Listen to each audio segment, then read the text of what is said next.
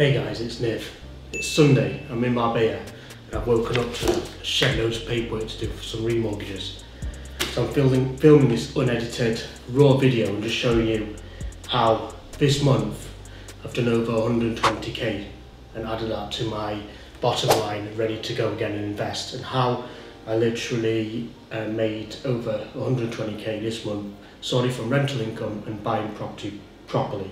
So I've done uh, a screen record as well, just so you can see and uh, come along and see how this can be implemented in your own buy-to-let portfolio, whether you're an existing landlord or starting out. And remember, the key is to buy property below market value, and this is a prime example. So first of all, I'm literally going to show you um, what's happened. So I bought a property in December 2023 for 85k guys, pre-auction Nothing needed doing. Nothing wrong with it. It was tenanted. I did my due diligence, read the legal part, checked out tenancy agreement, drove past the property. You couldn't go inside. Made a pre-auction offer, forced the offer, and had a few contacts in the auction department, and it got accepted. And it was a company who was selling it. Everything was, all the certificates were in line. Everything was good to go. So I took the risk. I actually paid the 10% deposit on my business credit card, Capital on Tap. So I got points on that as well, and I didn't even have to pay till the next month. Um, the 80k back plus the other 8k deposit. The rent is 750. It's still rented for 750, although that's going to change because I'm going to get social housing, housing on it and hopefully get 1500 a month. So the money in was 21k, just to give you some context. So that was my initial deposit. I borrowed 75%. I put it on a bridge, borrowed 64k, and uh, I put 21k of my own money or the company's money in it. No refurb was required. These days I buy very little property, less than 100k profit in it to do a refurb, just because dealing with builders, materials, the time it takes is just not worth it for us, especially when we get opportunities every week for below market property values where the um, the refurb's not required. Now, it's six months later, it's come to the remortgage. It's been valued at 130k. I'll show you the, uh, on the screen record, I'll show you the mortgage offer and the valuation. I put it in at 135, it came back at 5k less. So what? Borrowing 97,500 on a normal buy-to-let mortgage, minus the 64,000 bridge, means I'm going to get 33,500 cash out, tax-free guys. Remortgages are tax-free. So that money is effectively company borrowing, is tax-free. So when it lands in the account, it doesn't go into 20% tax. As I said, the rent is still 750. The mortgage has now gone well, now gone down, sorry, to 406 pounds a month, and the profit is 344 pound a month. Now that's not going to change my life. It's not going to change your life. It's very little. If the boiler breaks, that's going to be gone. But as soon as this tenant leaves, we're getting it social housing minimum 1500. We could probably get more. So our profit is obviously going to be a lot, lot more over one grand a month or just about. And crucially, because I put 21 in and got 33,500 back out, the house was effectively free. In fact, I made money buying it effectively. So that 33,500, then what I do is I put it back into a new house deposit. This is how I keep on growing my portfolio and building up the cash flow and the uh, rental income. So the new house I am currently purchasing is 133k. It's worth 150 to 180k. It's free by HMO. We've already got a social housing deal agreed on it for £1,600 a month.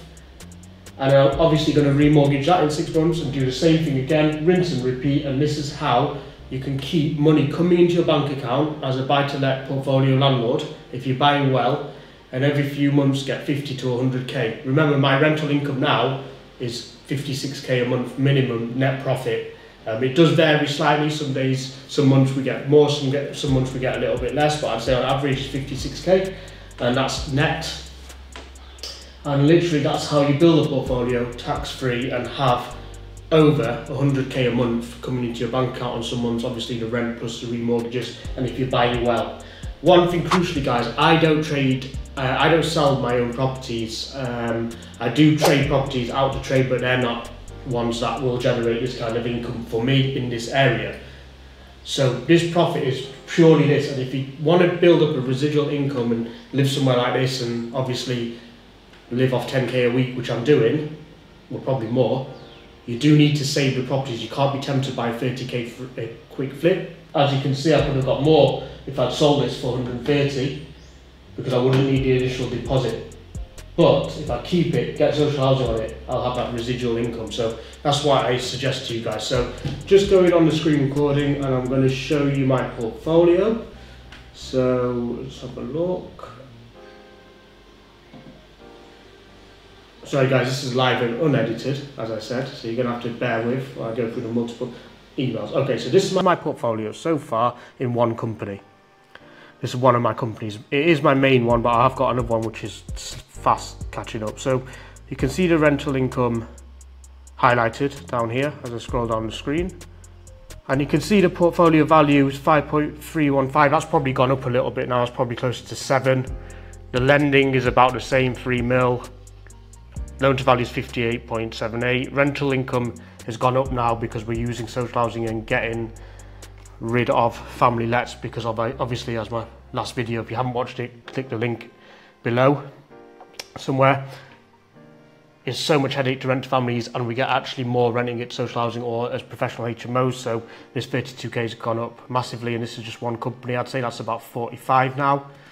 My mortgage my mortgages have gone up slightly because of the rates but then again they're coming down so I'd say that's probably the same so you can see even on this one, there's quite a healthy margin and I've got no partners, I've got no investors to pay out. It took me 10 years to do this for one company, but it's so worth it now because I live off around 10K a month and that's just from property, not mentoring, not trading, uh, not doing my quick flips, quick flips, which sometimes I do. Sorry guys, heavy night last night. So you can see my rental income coverage is 265.11% as well, which is pretty healthy. So it doesn't take a genius to work out that if you want more income and you want more portfolio value, all you have to do is keep buying and adding to this number because it will always outweigh this number because this number, remember you have to put 25% deposit.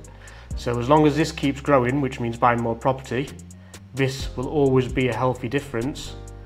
And in time, this value, because properties go up obviously over time, and especially if you're buying below market value on day one, this number will always grow and this number should stay the same, the debt, and it should actually decrease because of inflation because inflation erodes debt because it makes the pound more valuable as in it costs more to buy something. So 10 pound to a thousand pound today a thousand pound in 10 years will buy less but your debt stays the same so it devalues the debt because obviously for thousand pounds of 10 years you can buy less, the debt's worth less because an average rental income obviously is going to increase and wages are going to increase and all sorts. So that's that's the basic economics of portfolio building. So I did talk to you about my latest purchase, which is L42TT Sunbury Road, 85k. It's actually down at 125k there, but two months have passed and it's now been valued at 130. And just so you guys know, I'm not telling you any porkies, which some people do. Let's get the let's get the mortgage offer on screen somehow.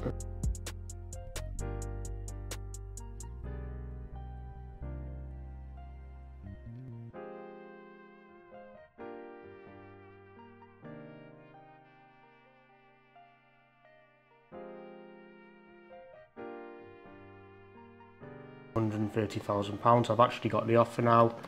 And if I show you mortgage offer, if I show you, guys, I've got free legals on this as well, so it's not even going to cost much on the legals. So, okay, Aldermore Bank. So, you.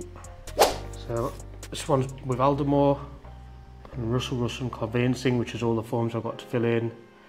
The meeting with myself because I'm the only director, guarantee, personal guarantee, and that's the mortgage to Sunbury Road, Liverpool. Okay, so there's proof right there on screen that that is as I say. And if you don't believe the price we got it for, we can you can go on uh, land uh, Rightmove or Land Registry and find out. And if you don't have to do that, it's like £13 or £2, I can't remember. I don't often do it.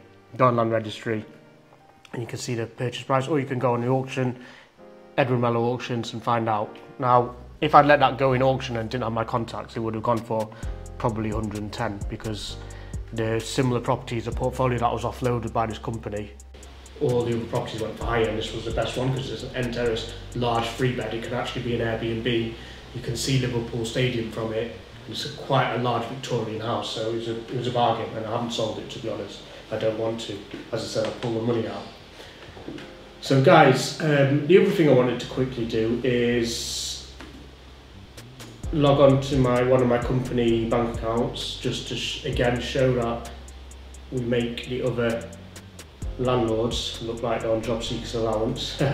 But credit where credit's due. Let me show you my rental income for this month.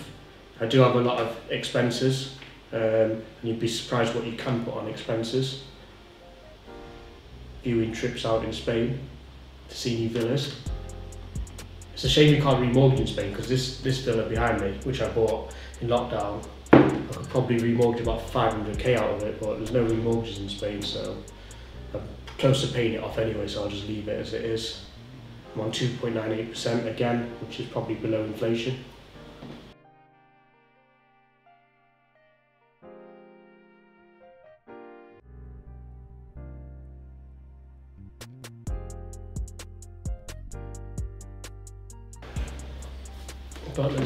Screenshot.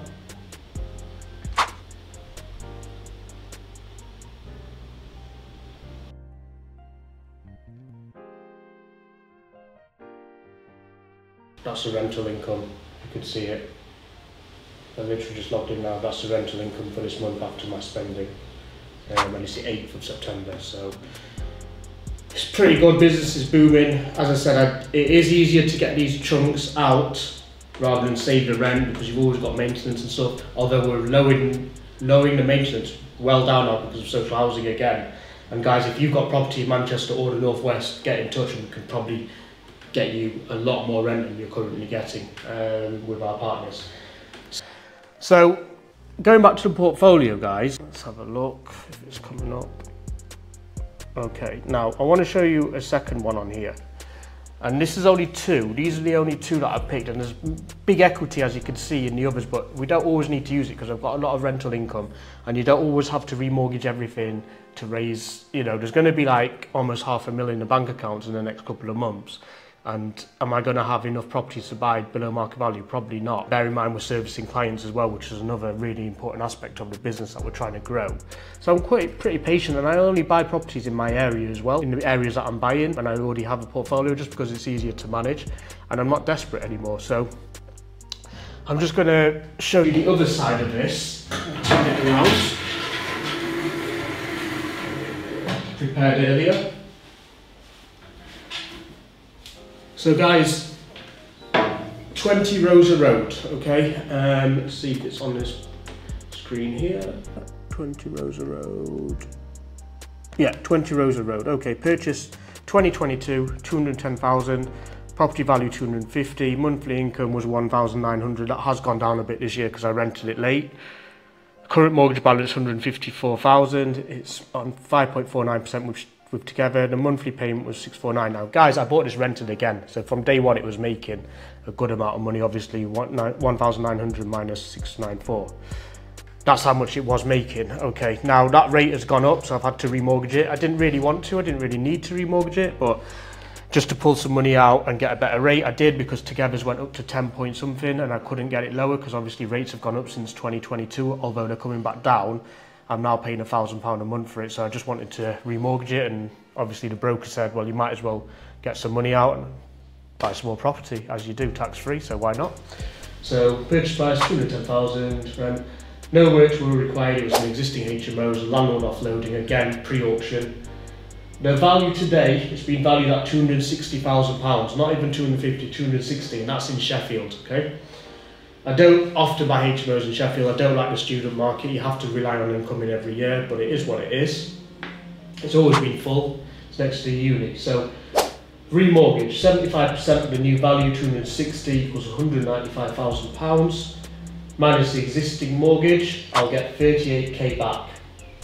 The new mortgage is 4.99% times 195, which is £810 a month, because obviously it's gone up because I'm borrowing more. The rent is 1700 at the moment, it is a bit lower, but I've taken a hit this year, and I'm making £890 per calendar month, even on a bad year. Bad year being we didn't market it in time, which was my fault. So that's the prime example of almost making a thousand pound a month. Now, I am 58 pounds a month less well off if you do the maths, just because the mortgage has gone up. But there's 38k coming in the bank for the next property. So what does that mean, guys? That means if I get spend that 38k, buy another below market value property and make more than 58 pounds per month on it from the rent, which obviously I will, that's 58 pounds per month, I'll be better off. And I'll get the capital growth of the other property. And that's the key to buying properties and building a portfolio. Where you can, take the equity out, buy another one below market value, key, buy below market value. Make sure you make more than the increase in the mortgage because obviously you borrowed a bit more. Get the capital growth on both, get the income on both, and make sure you can do it again on the second one without a, without a refurb and rinse and repeat until you've got enough. In this portfolio, I think there's 30 odd properties and uh, it's worth a few mil, probably a bit more actually now but probably less than 5 mil on this one, but I've obviously got properties in my own name and another company. So again, that's how we do it. And now if I go into my emails, I'll show you the mortgage offer for this one. So mortgage offer received. Okay, that doesn't show anything. Guys, I'm literally doing all the paperwork for it. Um, Rosa offer, okay, view. Okay, there's the offer for Rosa Road, Foundation Home Loans, and you can see that it's all legit.